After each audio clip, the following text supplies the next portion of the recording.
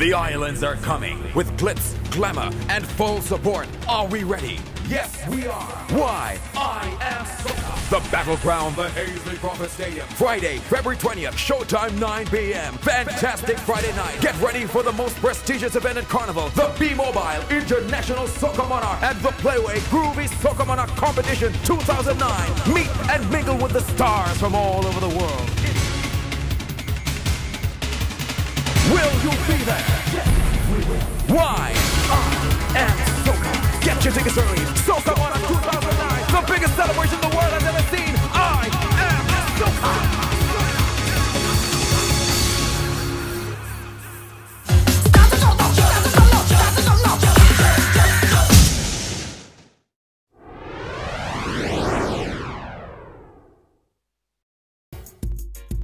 Hello, Tempo family. I'm Lydia Patel, and you're tuned into Tempo News, giving you an up close and personal look at what's going on throughout the Caribbean. The Netherlands, Antilles, and Jamaica are negotiating a tax treaty in Curacao. The treaty will include an avoidance of double taxation as well as a prevention of fiscal evasion.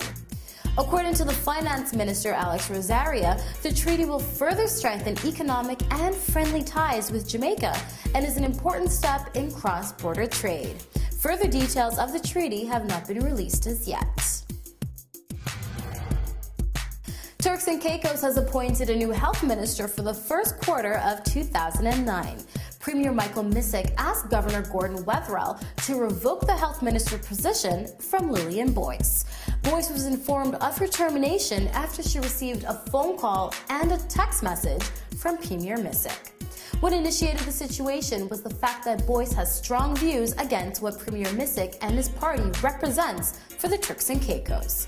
She has also been instrumental in several efforts to have Premier Misick removed as leader.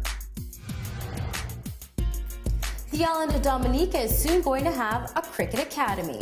The announcement was made by the West Indies Cricket Board CEO Donald Peters. The goal of the academy is to have better opportunities and enhance the potential of our Caribbean athletes. However, according to Peters, despite Dominica constructing an academy, in the past 10 years, Dominica has not been the strongest performing island.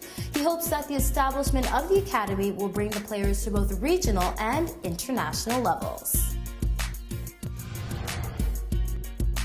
That's it for your Tempo News update powered by the Caribbean World News Network. I'm Lydia Patel. I'll see you next time.